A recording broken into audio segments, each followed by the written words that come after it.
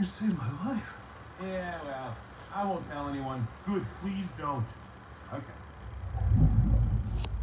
Uh, did you just feel something?